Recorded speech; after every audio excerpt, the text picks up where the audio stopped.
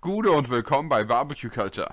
Wir machen heute mal wieder was, ja, fast aus dem Dutch Oven. Wir brauchen heute Dutch Oven, wir machen noch ein bisschen mehr. Wir machen heute Chili con Pulled Pork Wraps. Was wir da alles zu brauchen, ist ein bisschen was heute. Seht ihr natürlich wieder jetzt, also kommt mit.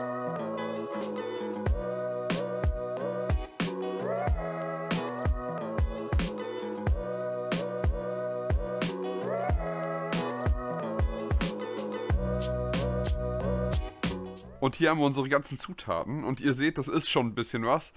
Und wir haben hier Pulled Pork. Das ist bei mir beim letzten Mal Pulled Pork machen übrig geblieben. Also ich mache immer ein bisschen mehr. Ich möchte ja gerne mal was ein bisschen im Froster haben, wenn man mal schnell Bock drauf hat. Das Ganze könnt ihr einfach einfrieren, auftauen, in warmes Wasser legen. Und ihr könnt es einfach wieder so genießen. Oder ihr verarbeitet so wie wir heute. Wir machen nämlich heute einen Chili con Pulled Pork. Wie wir das machen, seht ihr jetzt. Die ganzen Zutaten findet ihr natürlich wieder unten in der Infobox. Ja, dann lasst uns mal loslegen. Hier hinten die Kohlen sind schon am Vorheizen. Ähm, geschnippelt habe ich schon alles, also müssen wir gar nicht mehr viel machen. Wir warten jetzt, bis die Kohlen durch sind, dann wandert der Dopf drauf und dann treffen wir uns da wieder.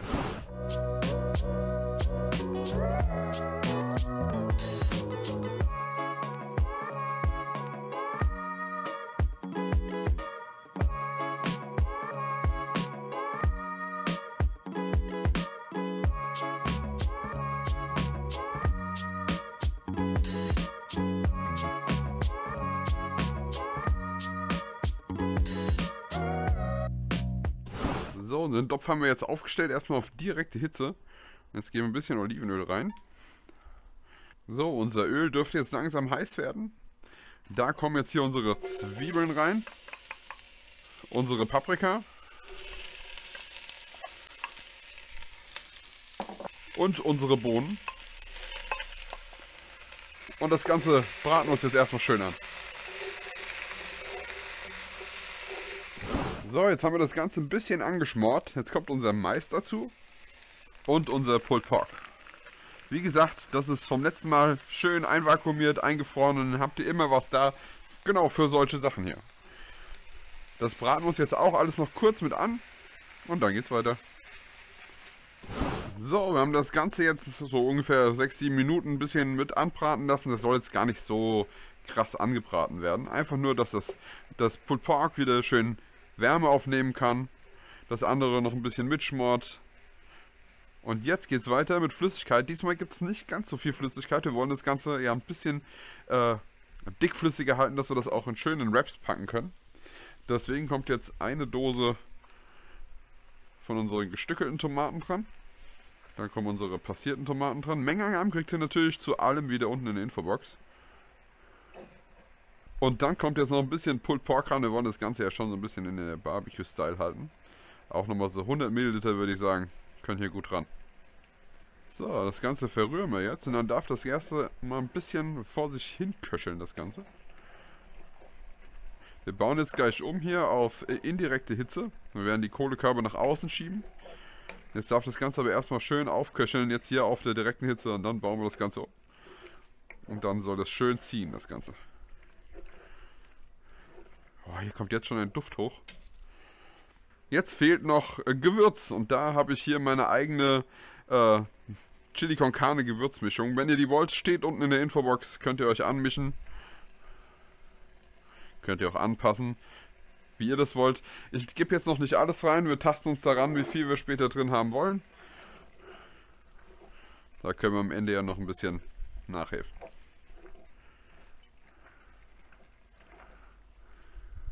Boah, ein Duft, ich sag's euch. So, wie gesagt, das lassen wir jetzt zwei Minuten so stehen. Dann bauen wir um und dann geht's weiter. So, das Ganze hat jetzt ein bisschen Schub gehabt. Jetzt holen wir das runter und bauen jetzt erstmal um und dann geht's weiter.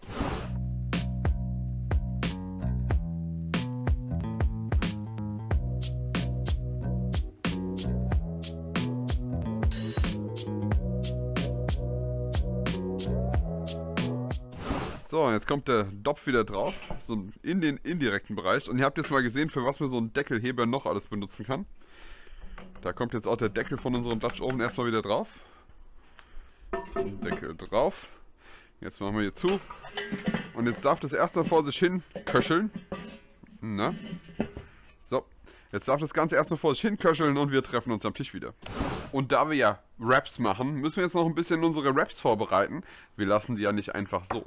Ich habe jetzt hier ein bisschen Öl, also Olivenöl, das sind ungefähr so 2, 3 Esslöffel. Und da kommt jetzt hier ein bisschen Hot Sauce, da könnt ihr Tabasco oder irgendwas, was ihr gerade habt. Also ich habe jetzt hier was anderes, das ist sogar mit ähm, geröstetem Knoblauch drin. Ist nochmal ein Tick geiler, aber tut's auch normal. Und da kommt jetzt nochmal, ja, so ein halber Esslöffel, kommt mit in das Öl. Je nachdem, wie scharf ihr das haben wollt. Und was wir damit anstellen, zeige ich euch ein bisschen näher, also kommt drüber. So, ich habe das Ganze schön eingepinselt und habe dabei gequatscht und alles und äh, ja, aber nicht auf Aufnahme gedrückt. Also, meine Schuld. Das sind jetzt die fertig eingepinselten Tacos und die wandern jetzt mit auf den Grill und dürfen jetzt erstmal ein bisschen ausbacken. Die sollen so ein bisschen kross werden, bevor wir die gleich füllen. Ja, an dem Topf geht es auch nochmal weiter. Ihr habt bestimmt gesehen, hier gibt es noch ein bisschen Schokolade. Die kommt am Ende noch mit rein. Ja, ansonsten ist nicht mehr so viel zu tun. Wir warten jetzt auf das Chili, bis das schön durchgezogen hat und bis hier unsere Tacos schön aufgebacken sind. Also, ab an den Grill. So, wir haben jetzt hier unsere Tacos und die stellen wir uns auch hier in den indirekten Bereich hier vorne. Ein bisschen beobachten, nicht, dass die außen zu schwarz werden. Mal gucken, ob wir die vielleicht gleich ein bisschen ähm, wechseln in den Fächern. Die sollen gleichmäßig ausbacken. Wir machen jetzt erstmal nochmal zu, lassen das Ganze ein bisschen backen. Sehen uns gleich wieder. So, unsere Taco-Shells kommen jetzt langsam dem Ende entgegen. Ähm, wir wollen sie nicht komplett hart backen, wir brauchen ja schon noch ein bisschen Flexibilität. Deswegen so ein bisschen brauchen wir noch. Das lassen wir denen auch. Die holen wir jetzt runter. Ihr seht am Rand, sind die schon schön kross. Jetzt geht es nochmal am Dopf weiter. Den ziehen wir uns jetzt mal ein bisschen hier vor. Machen den Deckel nochmal ab. Ah, und es blubbert so, wie es soll. Sehr schön.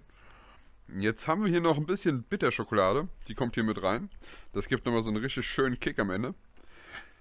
Die verrühren wir uns jetzt runter. Lassen es dabei jetzt aber offen köcheln hier. Dass wir auch noch ein bisschen Flüssigkeit verlieren. Dass wir nicht zu viel Flüssigkeit am Ende drin haben für unsere Wraps. Und dann sind wir fertig. Dann dürfen wir gleich noch ein bisschen abschmecken. Einfach noch ein bisschen was vom Gewürz ranmachen. Ja, und dann können wir schon fast zusammenbauen. So, ich habe jetzt gerade nochmal abgeschmeckt und ähm, es kann wirklich noch von unserem Gewürz dran. Und ich denke, die Menge, die ich gemacht habe hier, ist genau richtig gewesen. Dem geben wir jetzt nochmal eine Minute und dann holen wir es runter. So, unser Chili ist fertig. Wir können das Ganze jetzt runterholen. Stellen uns das jetzt hier hin. Und dann können wir jetzt anfangen, unsere Raps zusammenzubauen. Also, kommt rüber, machen wir zusammen.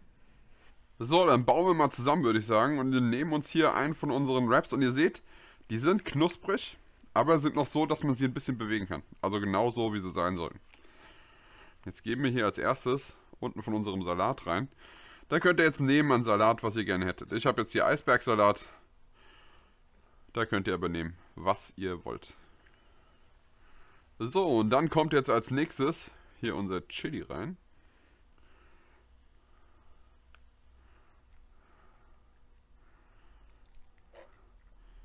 Das Schöne an dem Chili ist, ihr könnt das jetzt nicht nur hier in äh, Wraps essen. Ihr könnt das auch einfach so essen oder ihr macht euch noch irgendeine andere Beilage dabei.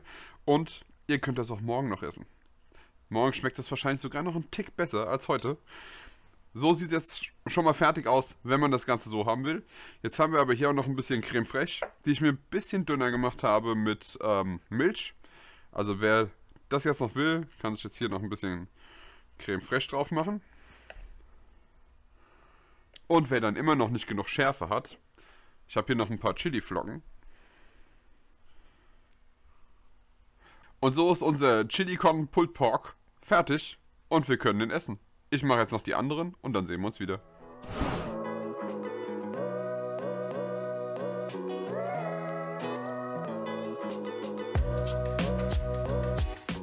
So, jetzt haben wir das Ganze fertig gebaut. Was müssen wir jetzt noch machen? Wir müssen es probieren. Also, ich opfer mich mal wieder schweren Herzens nur für euch und nehme hier einen von den Wraps. Wow. Läuft schon aus. Einmal für euch